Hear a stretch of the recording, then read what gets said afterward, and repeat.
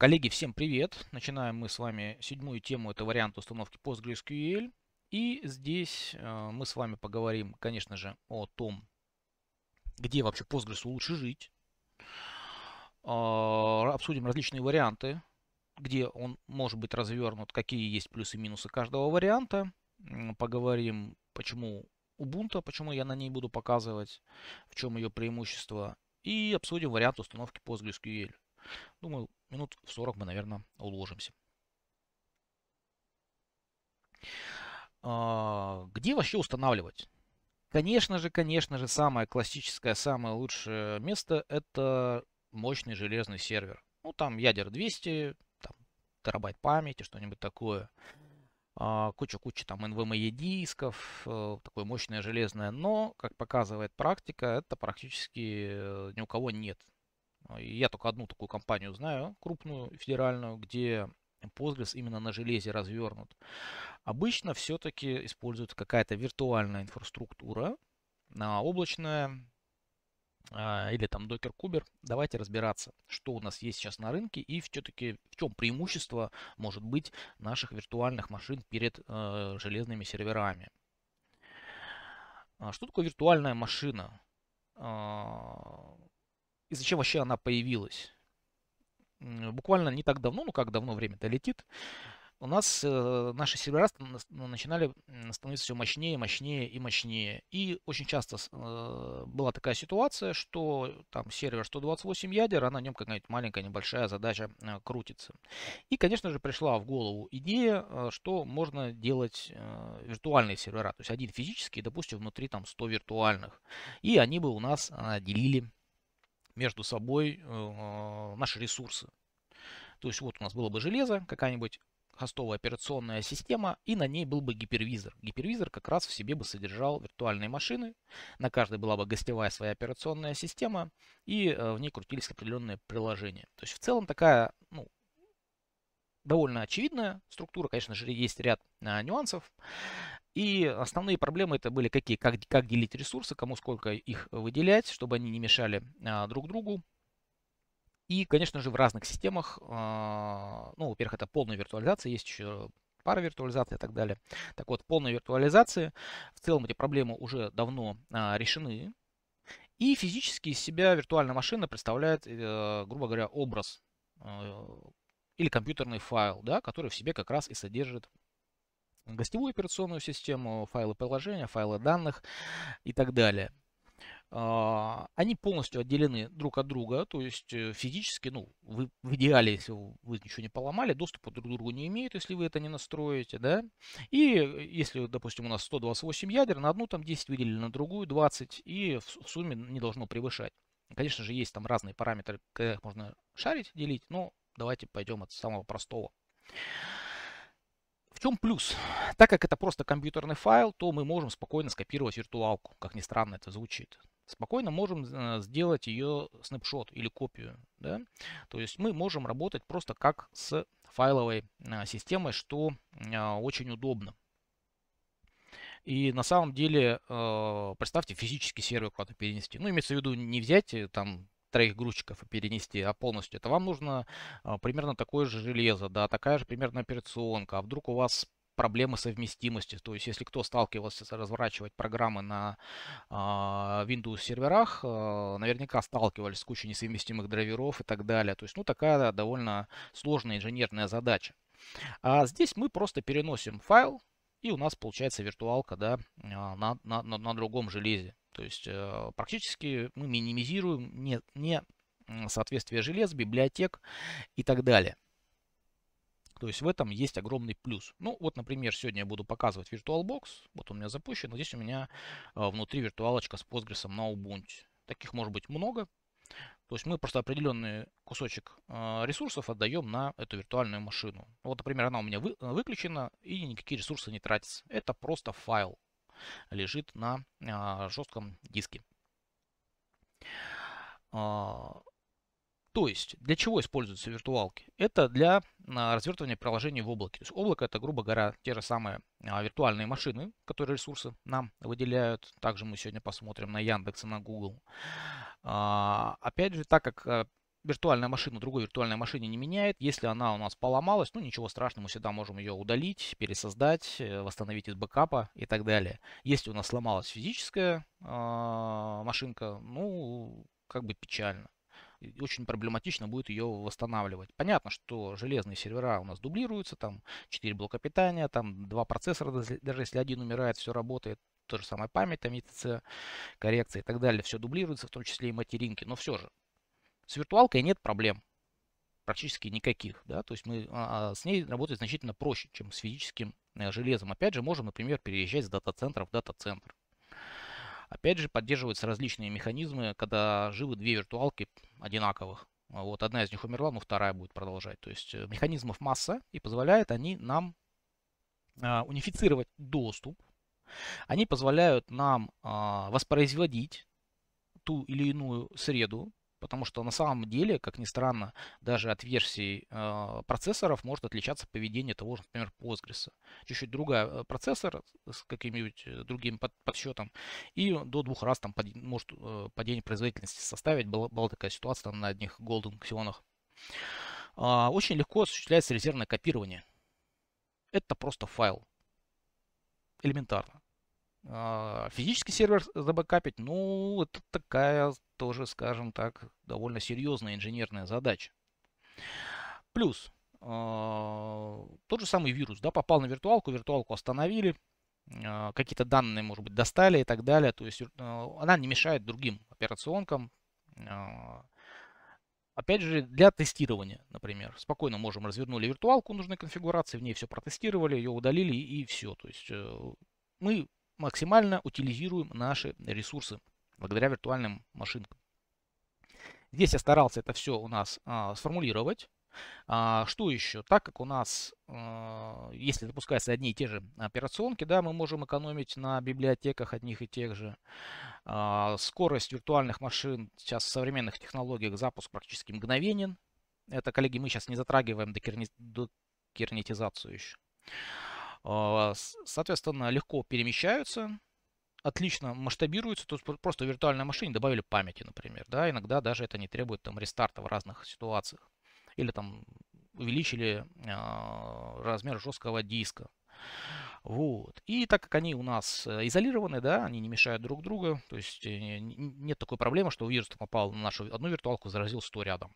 Ну, естественно, по сети это возможно, имеется в виду межсетевое взаимодействие. И классика – это Oracle VirtualBox, который будем смотреть с вами сегодня. Также мы сегодня с вами посмотрим Google Cloud, Яндекс Облако. Ну и классика – это, конечно же, промышленные э, системы виртуализации. Это Hyper-V да, от Microsoft, ESXi от VMware, э, Proxmox. Э, ну и в дальнейшем у нас пошло, конечно же, развитие. Это Docker, это у нас Docker Compose, Kuber и так далее. Ну, это уже, наверное, не совсем базовый да, уровень. Там убирается еще слои виртуализации, ну, много-много всего интересного. Почему VirtualBox? А, для нашего курса он проходит, подходит практически идеально. А, для вас, имеется в виду, для развертывания а, в вашей среде. Почему? Поддерживает любые операционные системы. То есть, э, как там Windows, полуось Linux, то есть в любой операционке мы скачали VirtualBox, запустили и внутри запустили другую виртуал, ну, другую операционную систему. Вот. Мы будем под Windows э, смотреть, э, скачивается просто бинарник, устанавливается, если несколько проблем здесь переписаны под Windows 10 раньше, но сейчас уже не встречал, года 3, на всякий случай ссылочку сделал. И у нас получается с вами э, вот такое приложение, в котором мы можем просто создавать наши виртуальные машины. Имя, где будет расположен файл. То есть у нас виртуалка это просто файл. Э, вот. Или можем там в экспертном режиме побольше параметров настроить. Там память, э, проц, э, сеть и, так далее. Что-то у меня тормозит вместе с Яндекс Телемостом, сори. Я уже включу созданную машинку ранее. И э, так как под капотом у нас оказывается просто виртуальная машина, мы просто скачиваем образ диска нужной операционной системы, виртуальный привод, его подключаем и устанавливаем. Никаких проблем. Что нужно заметить по поводу того, чтобы устанавливать внутри? Так как у нас Postgres работает довольно отвратительно в Windows, поэтому использовать мы будем Linux. Про Linux наверняка все а, слышали. То есть в продакшене как раз, а, наверное, 99,9 у нас используется Linux. А, на самом деле под капотом macOS тоже Linux, да, если прям брать, что там находится. А, поэтому продакшн это только Linux. Конечно же, может быть, мной не согласитесь, что у нас есть MS SQL, который работает на Windows Server, Active Directory и так далее. Но по факту а, при работе с Postgres это все-таки у нас на Linux, да и с другими системами. На самом деле Kubernetes тоже на Linux. Да? Ой, простите, кнопочку не нажал. А, плюс Linux, я думаю, очевидно. Это open source обычно. Это бесплатность. Ну, обычно мы не берем сейчас там всякие версии от Astra Linux, там от э, Red Hat платные версии, enterprise. Но в основном то же самое, например, а, Ubuntu. Опять же, выход постоянно новых версий, закрытие дыр безопасности, универсальность. Аж практически все ПО уже даже из-под Windows в Linux а, работает. А, по скорости тоже оптимально. Естественно, можно разные, там, выбрать файловую систему в Linux и так. Даже из коробки Linux работает очень хорошо. Чего не сказать о Windows. То есть в случае с Postgres надо использовать Windows. Даже кто любит у нас 1С, и там сборка изначально идет под Linux, ой, под Windows, то просто рядом поставьте машинку с Linux, да, и поставьте вот туда 1С, и будет работать он у вас значительно лучше. Минус у Linux, конечно же, тоже есть. Это а, относительно высокий порог вхождения. Но на 10 лекции в следующий раз мы с вами с ним познакомимся поближе и увидим, что в целом от Windows он практически не отличается за рядом а, нюансов, но значительно производительнее и надежнее. И почему Ubuntu? Дистрибутивов масса. А, первое, Ubuntu бесплатен. А, во-вторых, э, он относительно безопасен. Но при этом он не содержит э, различных сложных настроек безопасности. То есть из коробки, установив Ubuntu, вы можете работать. Вам не нужно э, практически никаких знаний для того, чтобы работать, а это замечательно для обучающего э, процесса. Э, также обратите внимание, что есть просто Ubuntu, да, это у нас серверный без, э, серверная часть без графического интерфейса. Есть Ubuntu Desktop, который у нас и, и содержит в себе графический интерфейс. На самом деле графический интерфейс это просто программа, как ни странно. Так, а у меня... А у меня вообще завис VirtualBox. Так. Э, это просто программа, которая вам изображает графический интерфейс. То есть э, в том же Windows, ну сейчас он уже не встроен, вот, э, можно в самом Windows работать уже без графического интерфейса. Раньше без него Windows не работал. Да? А в Linux, наоборот, графический интерфейс – это просто программа для вашего взаимодействия с иконками. Это вот виртуалку я просто импортировал. А виртуалка у меня выгружена на облачное хранилище. Вот, то есть я выгрузил виртуалку, просто сделал ее импорт. Я сейчас ссылочку тоже пришлю, и она будет в презентации, а, как ее импортировать. А, и при входе, там пароль 123, пользователь студент, вот у вас получится виртуалочка с Ubuntu.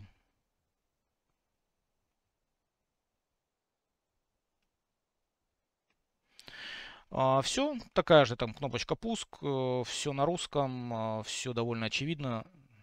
Единственное, что, видимо, Яндекс Телемост все подтормаживает.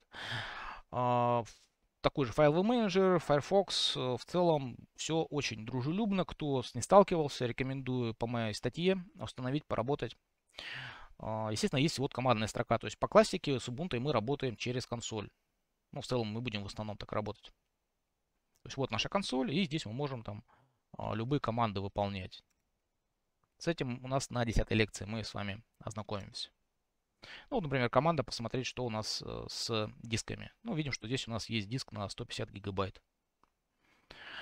Вот, это все мы с вами 10 лекций посмотрим. То есть бояться э, ничего не нужно. Единственное, что из нюансов, э, Alt-Tab здесь внутри виртуалки переключает. Если мы нажимаем правый Ctrl, мы освобождаем э, захват клавиатуры. И можем переключаться. Ну, вот у меня все в лекции написано. А, вот, почему еще Ubuntu? Потому что постоянно выходят релизы. А, основная версия выходит каждые два года. То есть она была Ubuntu 20.04, LTS. LTS это Long Time Support. Она будет поддерживаться 5 лет. А промежуточные выходят раз в полгода. Они поддерживаются не больше двух лет. А в целом не рекомендую использовать в продакшене только как эксперименты. То есть э, коллеги используем только специально обученные да, дистрибутивы. Это LTS. Следующий, соответственно, вот выйдет в следующем месяце 24.04. Что еще? Не рекомендую сразу использовать дистрибутив, который вот вышел. А, выйдет в следующем месяце 24.04. Подождите каких-нибудь патчей безопасности. Потому что, как обычно, а, что-то обнаруживают практически сразу. Да? То есть лучше подождать пару месяцев, закроют основные дыры, вот, и потом можно использовать уже дистрибутив. Что еще? Очень важно э, обновлять дистрибутивы тоже покажу в 10 лекции. А, почему? Потому что, опять же, закрывается дырь безопасности, выходят новые версии ПО, а, а, они обычно работают быстрее, лучше, надежнее. Вот. И что еще? В десктопной версии есть удобный центр приложений, как ни странно, магазинчик. То есть вот он у нас есть Ubuntu Software, где вы можете установить практически все, что хотите. В данном случае мы с вами будем еще смотреть э, графический интерфейс это dbeaver или бобер а, для доступа а, к PostgreSQL. То есть в целом полностью соответствует нашим ожиданиям, идеально подходит для обучения, ну и в целом в продакшене тоже с этим проблем никаких нет. Естественно, в продакшене десктопной версии не используется. Как установить Postgres Linux? Скачиваем образ, ну, например, Ubuntu ну, можете любой, какой вам нравится, CentOS и так далее. А, вставляем при запуске виртуальный оптический диск. То есть вот у нас есть виртуальный диск. Сюда просто подключаете ISO образ. Ну и далее, далее, далее вы устанавливаете Ubuntu, выбираете пользователя, создаете, задаете ему пароль. Напоминаю, здесь пользователь будет студент, пароль 123. А, вот. Э, ну и все, и работаете с Linux. А, что у меня? У меня здесь должна быть ссылочка. А, вот ссылочка на мой блог, где все в картинках расписано, что нужно делать. А, у меня виртуалка просто Ubuntu, но внутри ничего нет. А, здесь рассказано, сколько выделять памяти на установку. А здесь у меня еще так 20 вроде рассматривается. Выделяете память ну, желательно 4, лучше 8 гигабайт диск от 15 гигабайт. А единственное, обратите внимание, может быть диск имеет смысл побольше, он по умолчанию устанавливает нам еще различные пакеты, там офисные и так далее. Они могут больше 15 гигабайт занять, и место может закончиться, ну, 20 тогда, если пакеты будете еще обновлять. Офисные, там, Firefox. Вот. А, как создать виртуалку? Показывается. Нажимаем кнопочку «Создать виртуалку». А, или импорт конфигурации. Вот у меня лежит э, голая виртуалка с Ubuntu, да, там пароль у нас логин студент, пароль 123, и у вас она появится вот точно в таком же виде. Внутрь ничего не ставил. Сколько помню, Postgres тоже не ставил сейчас.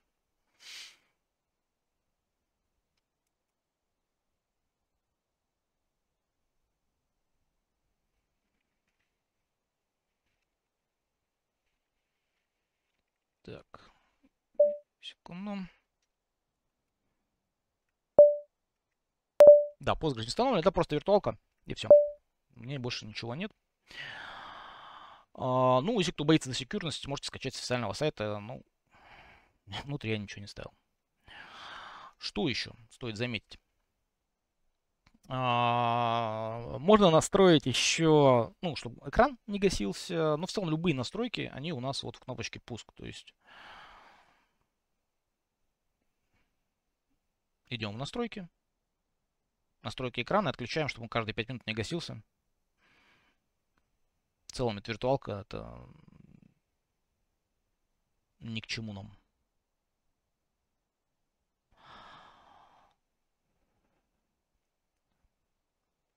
Сори, немного подтормаживает, видимо, OBS Studio, Яндекс Телемост.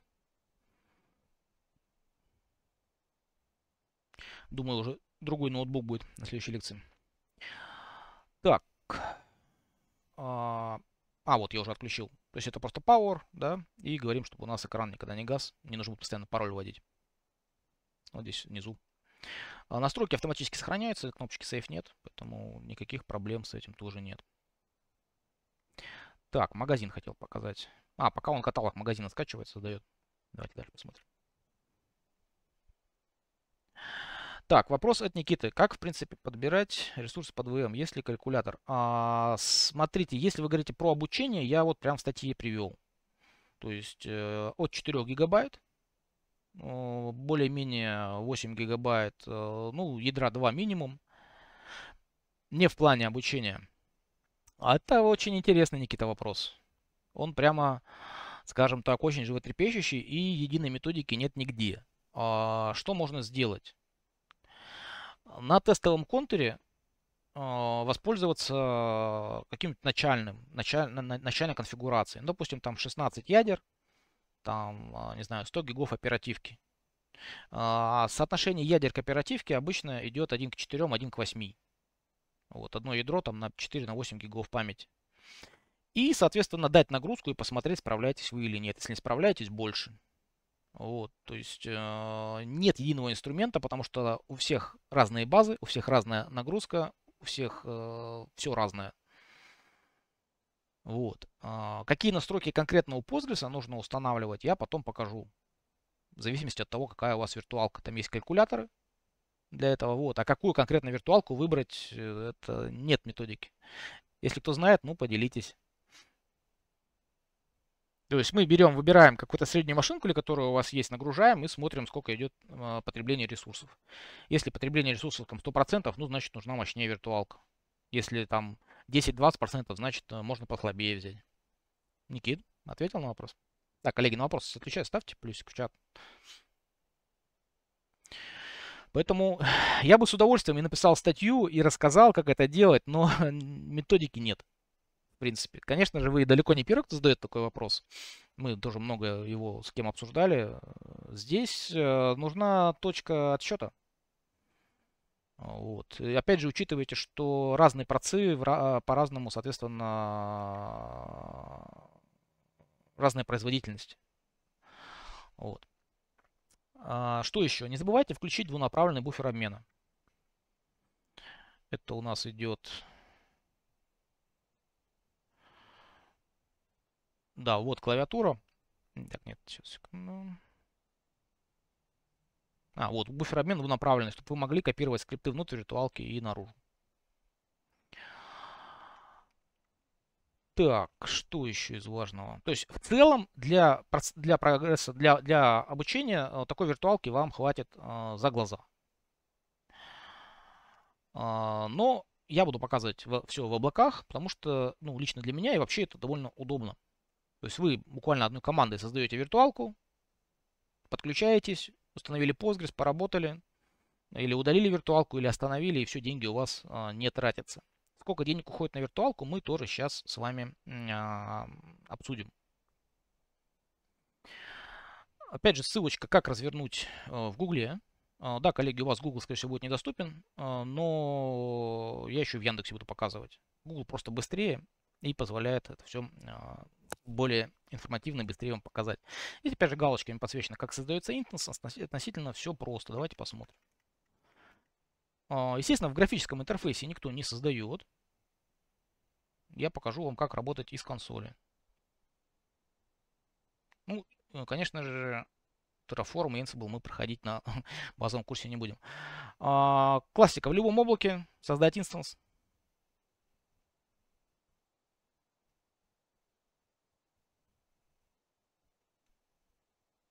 И выбираем характеристики. А, классическая э, схема это 2 ядра 4 гига. Э, хватает ну, практически на все обучающие процессы. Ну, если только вам не нужно там 10 инстансов поднимать. Обычно выбираете какой регион, какой дата-центр. У Google их очень много разных регионов, дата-центров, там сотни. Вот. И что мы здесь выбрали? А, и видите, разные даже инстансы, разные серии, можно про них прочитать. И каждая имеет э, свои, ну как сказать, характеристики. То есть э, два ядра одной серии, скорее всего, будут не равны двум ядрам другой. Здесь вот нужно как раз исходить из того железа, какое у вас есть. Тоже очень важный момент. Да, кстати, вот, Николай, при закупке железа под новые сервера, ну, желательно протестировать, как там Postgres работает. Э, неоднократно наблюдал э, разную производительность на разных ядрах. Вот, поэтому желательно такое железо как-то взять, потрогать, поработать. Ну вот что у нас. Два ядра 4 гига. Обратите внимание на небольшой нюанс. Это разделяемое ядро в два потока. Да, гипертрейдинг включен. Ну, два ядра. 4 а, гига памяти. А, что у нас? 10 гигабайт.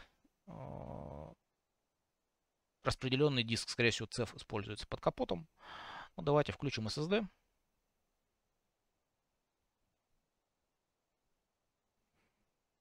Вот. И выбираем, какая операционка у нас будет.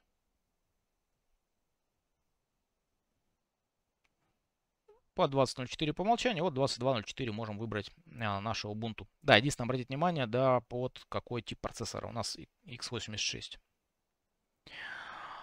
И эта виртуалка у нас будет с, вам, с вами стоить. Будет стоить виртуалка 26 а, долларов а, в месяц.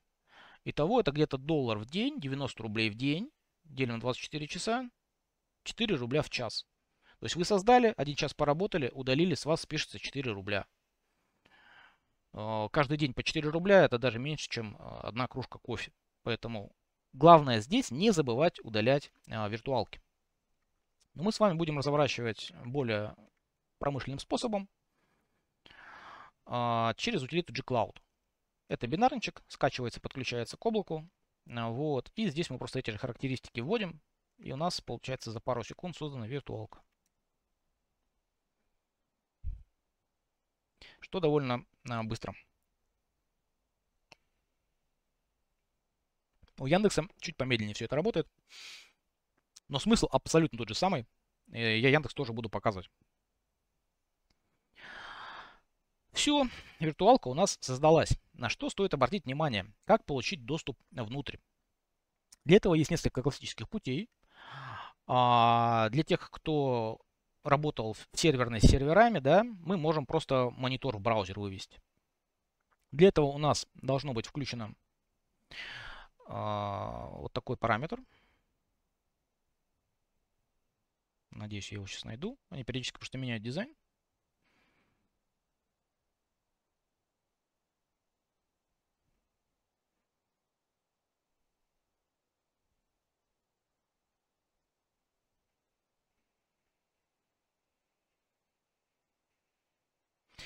Ну, это включенный мониторинг всякий. Нет, нам нужно... Сейчас, секунду, колени. А, вот, нам нужна консолька для доступа. Это мы сюда нажимаем, и нам просто вот на экран на, в браузере выводится экран, как будто бы физический монитор подключен к физически к этому серверу. Так, конечно же, никто доступ не получает. Это очень неудобно. Поэтому основной э, вид доступа к виртуальным машинам, напоминаю, там нет графического интерфейса, да, это у нас SSH-ключ. Сейчас, секундочку. В, в Гугле он настраивается в метаданных. В Яндексе тоже, тоже покажу. И это пользователь и его открытый SSH-ключ. SSH это подключается по асимметричному ключу шифрования. Сейчас мы с вами разберем. У меня, по-моему, вот здесь вот ссылочка. Вот. А, шифрует консольное подключение. То есть мы должны через утилиту сгенерировать два ключа. Открытый и закрытый. Открытый мы можем делиться практически, в принципе, с кем угодно. Закрытый никогда никому не передавать. А, соответственно, что происходит? А, у нас получается асимметричное шифрование, и в секьюрном режиме мы подключаемся к нашему серверу по сети ссылочки на почитать, что такое SSH и симметричное шифрование. Вот. А, а у нас давайте мы с вами подключимся. Можем подключиться, опять же, через утилиту а, gcloud. Она сама IP-адрес подставит по SSH. Или можем, а, второй момент, взять наш IP-адрес из виртуальных машинок. Обратите внимание, у нас есть внешний IP-адрес, который смотрит в сеть интернет.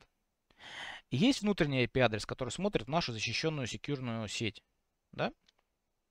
Вот. Нам, соответственно, для подключения нужен внешний IP-адрес.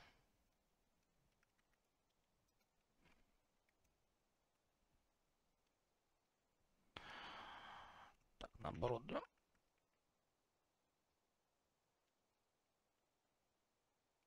указываем, каким пользователем и куда подключаемся. Пользователь у нас вот в консоли. Мой пользователь.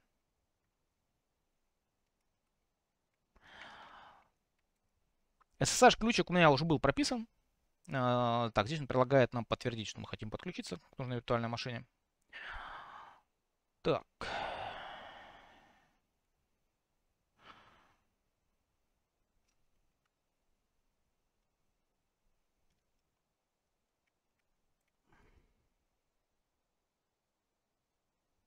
А, буковку пропустил.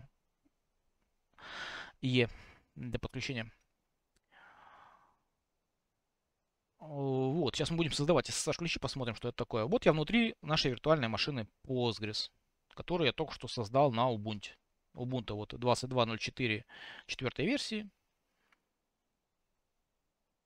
И э, давайте мы с вами установим PostgreSQL.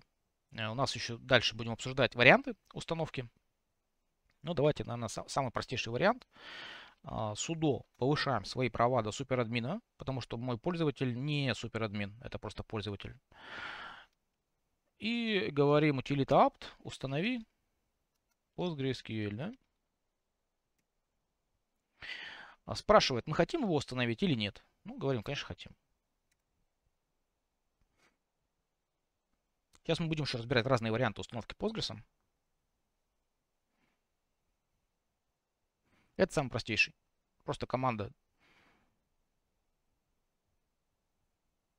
А там тоже есть ряд нюансов, сейчас мы их разберем с вами. Все, Postgres у нас установлен. Sorry. Сейчас я буду тоже объяснять попозже, что за утилиты. А, установился у нас 14 Postgres по имени main, по порту 5432. Видим, что он запущен, ну или зелененький. Сейчас подальше будем с этим всем разбираться. В итоге что? Создали одной командой виртуалку, одной командой мы подключились, и одной командой мы установили Postgres. Можем с ним теперь работать. Как подключиться я сейчас тоже буду показывать. Давайте просто сначала покажу, а потом разъясню. И вот наш Postgres. А, версии 14.11 на Ubuntu 22.04. И вот та база данных по умолчанию внутри. А, то есть, еще раз, одной командой создали виртуалку, подключились по SSH и установили а, Postgres. Давайте разбираться, как подключаться по SSH. Для этого я создам рядом виртуальную машину во втором окошке. Зайду на нее.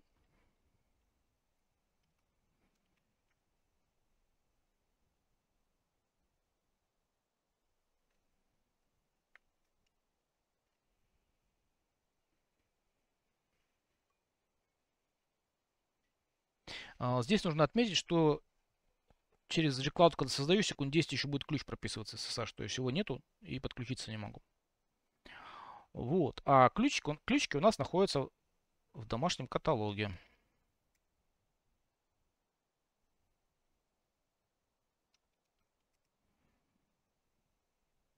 Да, кстати, покрупнее сделал. Так, сори.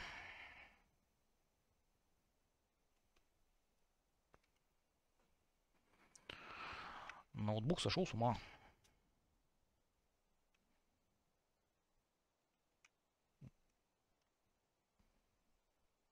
Да. Пора менять.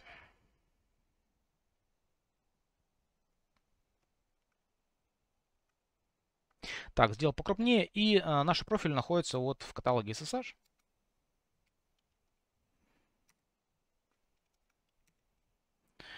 И вот наши ключики открытые. А, вот мой ключик как раз от моего пользователя Eugen. Точнее, вот он. То есть это пользователь Eugen. Это мой ноутбук.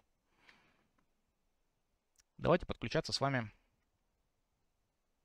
к машинке SSH тест. Это я нахожусь на ноутбуке. Делаю подключение по SSH.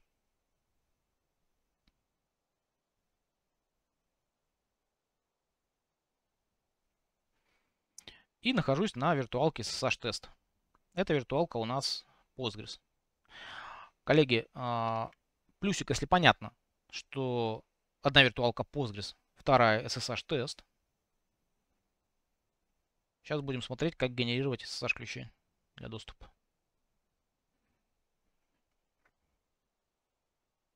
Угу. Плюсики в чат. И смотрите, если мы просто попытаемся подключиться по SSH, мы не сможем это сделать.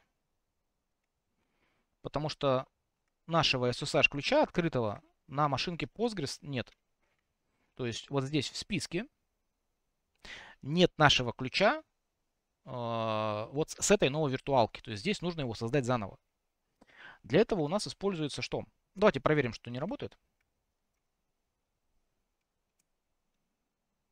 Э, видите, нас не пускает.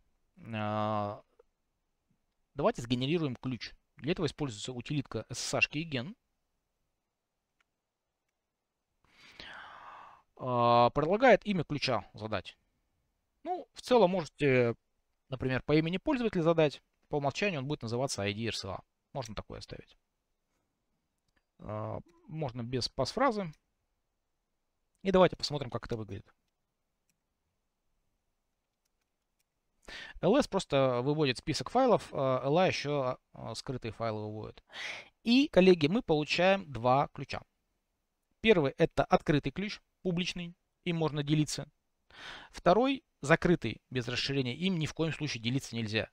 Вот. То есть, если вы хотите куда-то подключиться, вам вот этот ключ нужно предоставить или человеку, который его забьет вот сюда, во вторая ки на той машинке, а, ну или самим его внести. Давайте мы это и сделаем.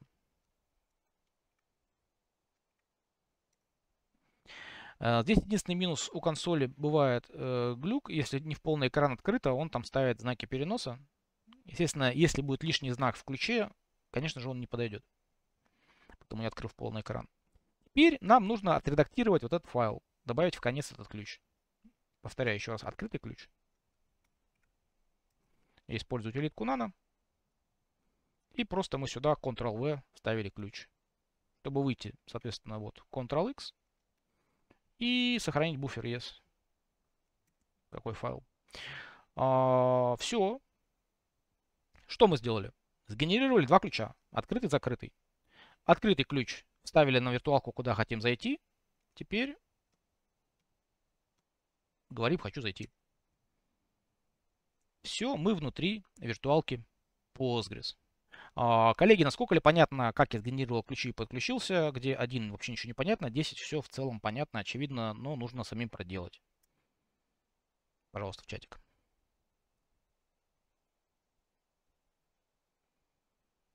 Э, подключение полностью секьюрное, шифруется.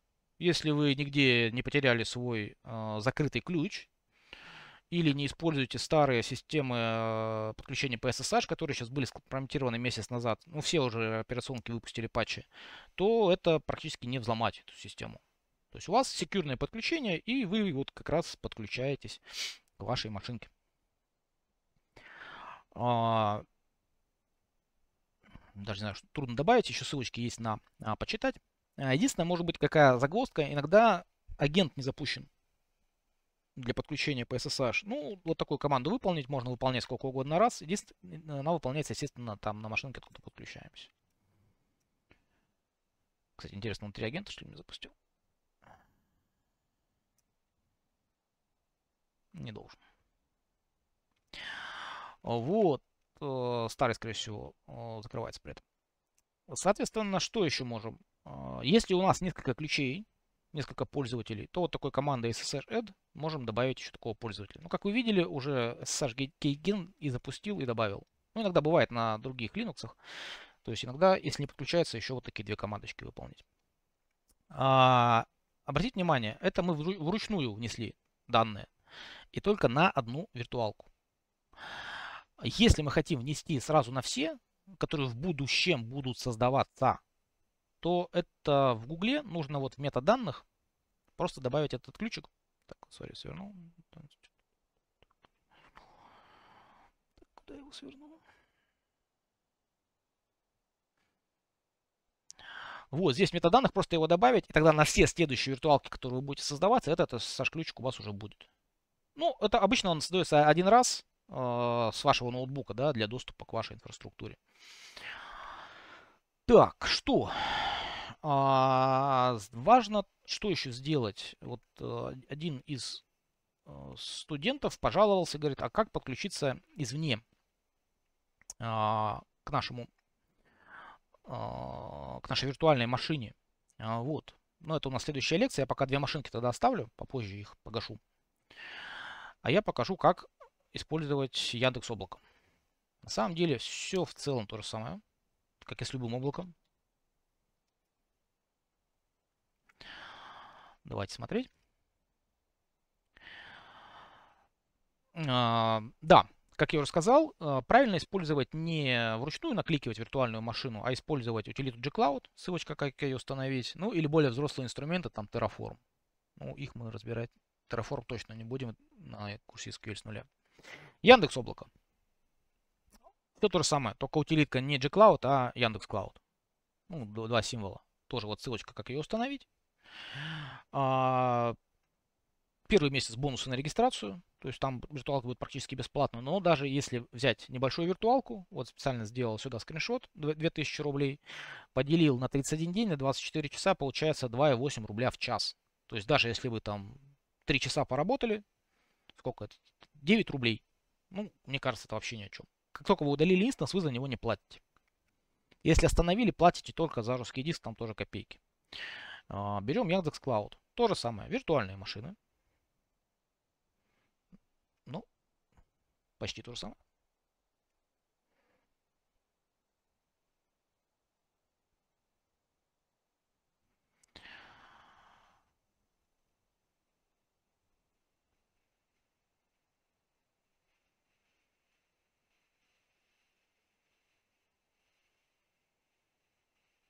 Что-то они, перед... они интерфейс, по-моему, переделывали. Писали письмо. Давно не заходил. А, вот, точно так же создаем VM. Выбираем точно так же, сколько ядер, какого ресурса, а, сколько памяти, какой диск, какого размера. Вот если вы создаете не десктопную версию, то 10 гигабайт вам хватит за глаза. Имя, а, дата-центр. О, четвертый дата-центр открыли. Они, кстати, не так давно стали строить, уже сделали. Прикольно. А, смотрите, выбираем Ubuntu нашу классическую. Ну, естественно, HDD диск не рекомендую, SSD диск. Вот, 10 хватит за глаза, ну, можете 20 поставить. А, что еще обратить внимание, чем мощнее у вас инстанс, а, больше пам... ну, чем больше диск, тем больше и опсов, да, операции ввода-вывода. А, чем мощнее у вас а, количество ядер памяти, тем больше будет скорость сети. Вот так, такие вот интересные взаимосвязи. А, Давайте развернем. Кстати, вот инстансы удаляю тоже gcloud, инстанс delete и все, виртуалка удалена. В Яндекс облаке чуть а, потяжелее команда, ну, чуть побольше параметров. Что здесь есть? Количество ядер, количество памяти. А, важно, что указываете и name, и hostname. А, вот, потому что имя машины это имя, которое отображается в Яндекс Облаке, а хостнейм это, имя самой виртуалки. Если хостнейм не указать, это, кстати, не указано в документации, он ну, будет случайно, что очень неудобно. 15 а, гигабайт а, диск, соответственно, Ubuntu 22.04. Обратите внимание, что в Гугле, что в Яндексе мы указываем семейство. Не полностью версию 22.04 сборка такая-то, а семейство. Он ставит последнюю доступную. Не нужно обновляться будет. Точнее, обновляться нужно, но не настолько много. И вот здесь самый важный момент – это добавление SSH-ключа. А, в Яндексе, ой, в Гугле такого нет. Вам нужно сразу указать, какой будет пользователь по SSH подключаться. А, для этого вам нужно сделать свой файлик. Он немного отличается от классического SSH. Давайте посмотрим. Перейдем в домашний каталог, перейдем в каталог SSH. Посмотрим файл мой публичный. Вот, мой публичный SSH-ключ, который я должен был поделиться. А в Яндексе немного по-другому. Давайте мы посмотрим, как он выглядит, текстовый файл. Все то же самое, только впереди нужно написать пользователя и двоеточие. А так это идентично. А зачем это делать, я не знаю, потому что пользователь в конце и так указан. Это вот такие вот у нас Яндекс разработчики. То есть вам что нужно сделать? Создать текстовый файл, указать такое же имя пользователя, двоеточие и скопировать туда публичный ключ. После этого вот параметры вы указали. И таким образом, создавая виртуалку, у меня автоматически туда пропишется SSH-ключ. Но это еще не последняя тонкость. Сейчас расскажу. Создается виртуалка.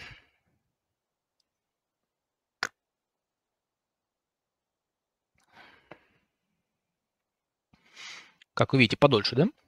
Чем в Гугле.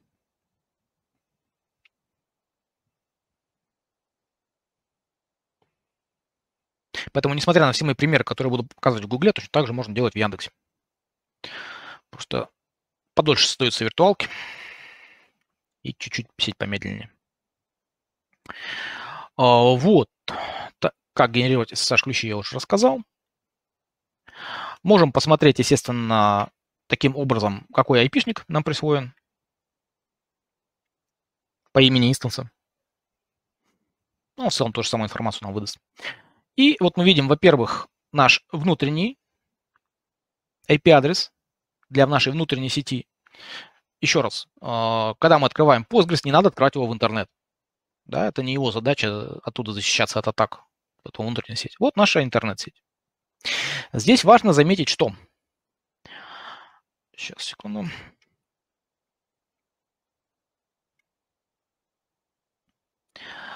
Мы, когда подключались э, к Гуглу, мы указывали моего пользователя. Ну, мы, мы в текстовом файле его прописали. Так вот, меня так не пустит. Согласен? Видите, тонкость пробел указал, он не понимает, что я хочу.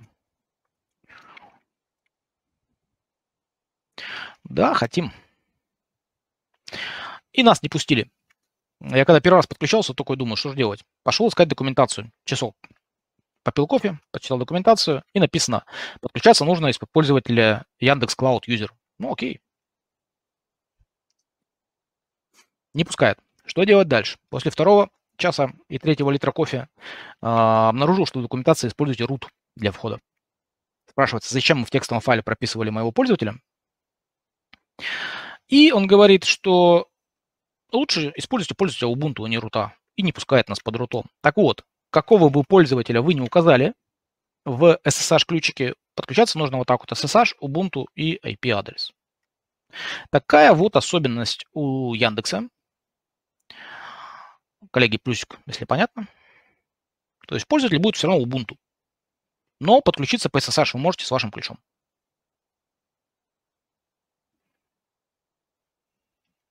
Как ни странно. А, что еще?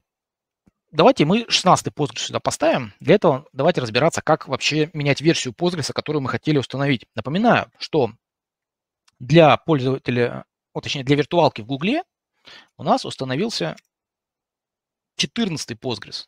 Сейчас будем разбираться, почему именно 14. Как можно установить Postgres? На самом деле мы переходим просто в каталог. А, ну, не каталог, точнее как интернет-каталог, да, выбираем семейство, на которое мы хотим установить. А, на Windows все просто, да, у нас там будет версия там и экзешничек.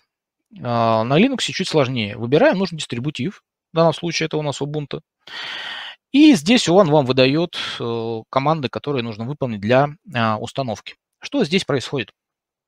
Мы добавляем репозиторий с Postgres, добавляем секьюрный ключ, для шифрования доступа да, к репозиторию, чтобы у нас не было атаки man in the middle. Обновляем список пакетов и устанавливаем PostgreSQL. На что здесь стоит обратить внимание? А, что вот я а, рекомендую вам не указывать просто PostgreSQL, а указать нужную версию. Потому что в зависимости от операционной системы а, Postgres будет разный. То есть э, вы предполагаете, что будет 16, а по факту может 14 поставиться. Поэтому лучше указывать конкретную версию PostgreSQL, дефис и нужная версия. А, например, в Ubuntu 20.04 устанавливается 12 Postgres.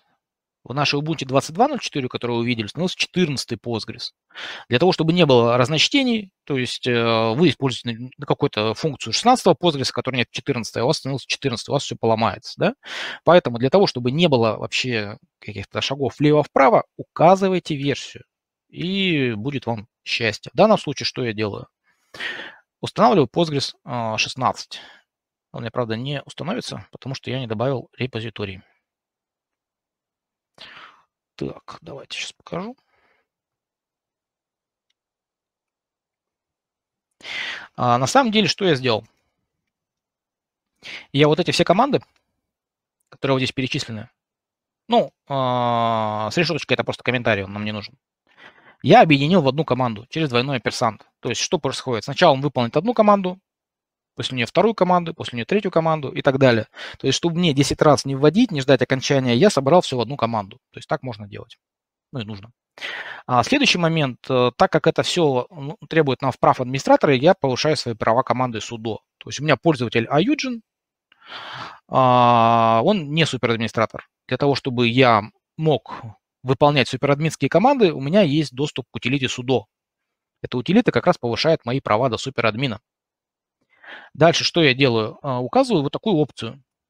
Она предназначена для того, чтобы мне на экран не выдавали всякие вопросы. Типа, оставить ли такую утилиту?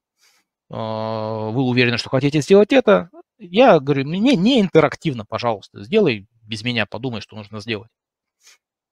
Дальше я указываю э, ключики для apt апгрейда, да, то есть есть apt install, установка пакета, есть apt upgrade, обновить все пакеты, которые есть на последней версии, да, и также здесь указываю минус y, чтобы на все вопросы, ну, займет там 200 мегабайт, вы хотите или нет.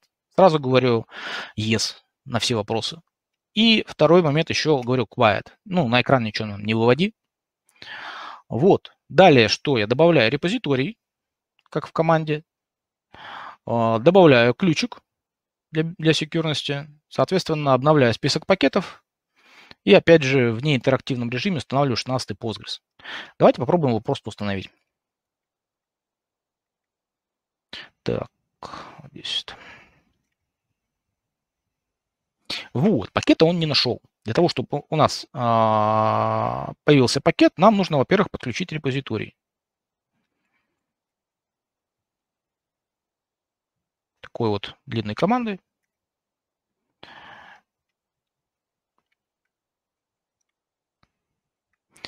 Далее, соответственно, нам... Я разобрался на, на разные команды, чтобы вам было понятно, что, что вообще происходит. Нужно ключик добавить да, для нашего репозитория. И нам нужно обновить список пакетов, потому что репозиторий это добавлено, а какие в нем пакеты, как бы Linux не знает. Делаем apt-get update. apt-get и apt это одинаковые утилиты, apt-get по-старому называется просто.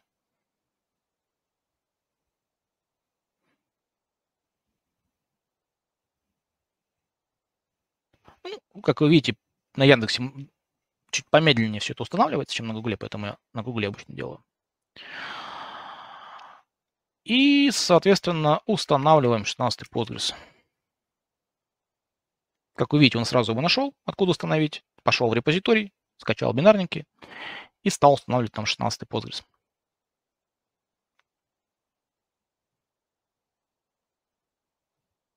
Пока Postgres устанавливается, давайте поговорим дальше. Вот, то есть э, следующий вариант, мы просто ставим PostgreSQL. Здесь еще раз подчеркиваю, в зависимости от того, какая у вас операционка, какой версии, может поставиться ну, разный Postgres. Э, не самый лучший вариант, потому что, еще раз подчеркиваю, потом, ну, хотели 14 получился 12 что потом делать? Или хотели 12 получился 14 Также можно а, Да, чуть-чуть некорректно. Здесь имелось в виду, он премис это просто бинарник, да. Второй это Postgres, третий, который сейчас показываю, что добавляем репозиторий и так далее. Да, вот, кстати, вот эту штуку сейчас еще покажу. Сори.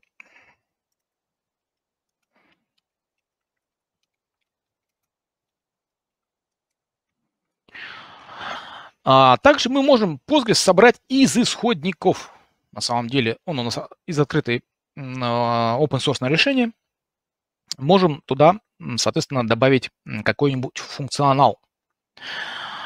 Сейчас тоже посмотрим. Ну, естественно, Docker Kuber. А, ну, здесь, да, еще не указал DBAS решение, Database as a Service. Ну, все-таки у нас SQL с нуля. Так. Он премис. Идем в download, выбираем экзешник или RPM из магазина. В основном только для тестового окружения не рекомендую использовать. А с репозиторией тоже проблема, что в 22 это будет 14, в 20 12 и так далее. Не самый лучший вариант. Самый лучший вариант – это вот как раз классический добавление репозитория, добавление ключика, обновление списка пакетов и установка нужной версии. Вот это как раз production ready вариант. Ну, мы не рассматриваем Ansible всякие штуки. Вот. А, я сейчас а, отвечу на вопросик в чате. А, следующий вариант – собрать из C исходных кодов. Ну, идем к конфигуру, make, install и так далее. Занимает сборка на средней виртуальной машинке порядка 20-30 минут. Ну, как вариант сборки для закрытого контура. И встречал такие пару проектов, э, что проходит там СБ в закрытом контуре, да, собирается на конкретную каждую машинку. А, скачивается с FTP, да, и собирается. Для чего, что можно делать? Можно внедрить вообще любой функционал, который вы хотите. Просто вносите исходный код в э, c э, исходники вот, э, и реализуете. Ну, практически все, что хотите. Какой минус этого варианта? Что при выходе новой версии вам нужно опять вносить изменения, а не факт, что они будут там же. То есть это такой очень сложный вариант. По этому пути, например, пошла компания Tantor, который выпускает дистрибутивы Postgres с рядом улучшений, в том числе для DNS. И вот они каждый релиз готовят по несколько месяцев, да, а, и при, причем не каждый, то есть сейчас у меня был 14.11, давайте посмотрим, релиз. Вот, а, они где-то выпускают один, ну максимум два релиза на версию. Иногда пропускают версию.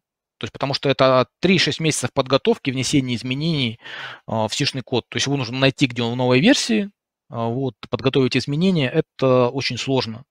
А, опять же, это тоже минус с той точки зрения, что вы, вы купили такую сборку какой-нибудь компании, вам нужна эта функция.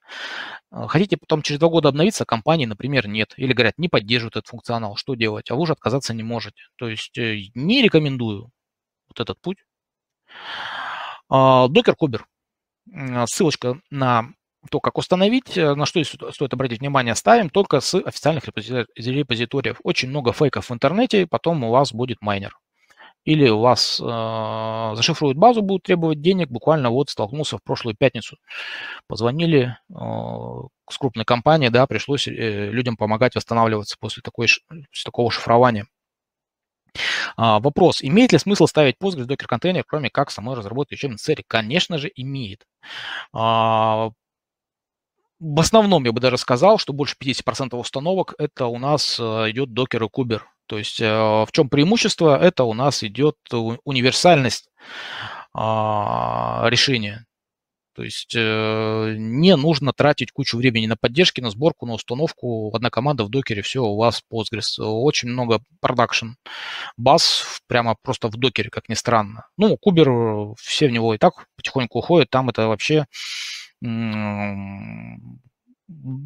ряде крупных контор отдается на откуп разработчикам. Где могут просто там отказоустойчивые патроне в кубере запустить одним там YAML файлом, YAML программирования. А, можно и реплику настроить в кубере, а какая, ой, в докере, а какая разница в реплику в докере? Такой же докер-контейнер, такая же, грубо говоря, относительно виртуалка под капотом. А в кубере обычно настраивается, уже берется или а, соответственно, оператор или что-нибудь там прямо четко прописываешь. Хочу откудоустойчивый кластер патроне там в пяти репликах, бэкапа туда, все туда, в тем файле прописал, и все, кластер развернут. То есть унификация скорость э, развертывания в последнее время выигрывает, чем, э, конечно же, более правильное развертывание на виртуалках. Э, вариант установки Postgres. Опять же, статья в моем блоге почитать.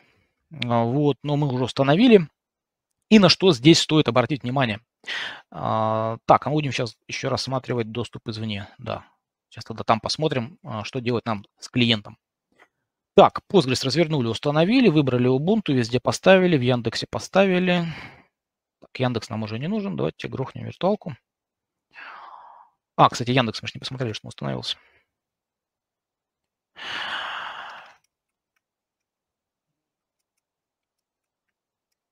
Ну вот, 16 кластер. Все на Яндексе установилось. То есть Яндекс как бы вот рекомендую в качестве обучающих проекта делать на Яндексе, потом просто удалять виртуалку или останавливать. А, Все-таки VirtualBox относительно тяжеловесен. Как видели, немного подтормаживает. Но VirtualBox с графическим интерфейсом, что, наверное, может быть, будет более а, удобно.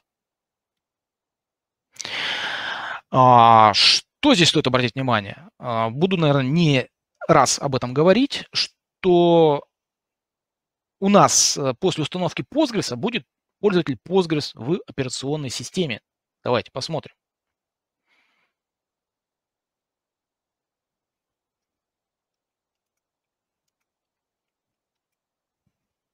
Вот, это наш пользователь Postgres. Postgres, собачка, виртуалка Postgres. Это пользователь Linux. Из-под этого пользователя и запущен PostgreSQL. Но у нас также есть пользователь SUBD Postgres. То есть есть Postgres в Linux. Вот он, вот так выглядит командная строка. Есть пользователь Postgres внутри SUBD. Вот так выглядит командная строка. То есть внутри SUBD заканчивается на решеточку, а внутри э, Linux заканчивается на э, собачку. В чем нюансы между ними я буду рассказывать, но обратите внимание, что команды Linux не работают в Postgres и наоборот. Ну, точнее, здесь они могут работать, я попозже покажу как. Но прямая команда, вот, например, список посмотреть, а, смонтированных систем, видите, она не работает. А, по поводу бесплатного гранта 4000 на месяц в Яндексе. 1000 дается на виртуалке, 3000 дается на остальные сервисы. Ну, 1000 это просто за глаза хватает. То есть, смотрите, с учетом того, что я практически виртуалки каждый день кручу-верчу, и не по одной, а бывает из десяток, Например, мы возьмем в Гугле биллинг, у меня, по-моему, максимальный биллинг за месяц выходил что-то порядка 2000. Это с учетом того, что у меня там по 8 ядер, несколько виртуалок, там 64 гига памяти. То есть поработал, выключил и все. Так, что вот у меня... Вот 53 рубля целых потратил, у меня целый день мощная виртуалка работала. Вот, э, что тут у нас, если за другие периоды? Так, не туда. По-моему, 2000 у меня максимум был.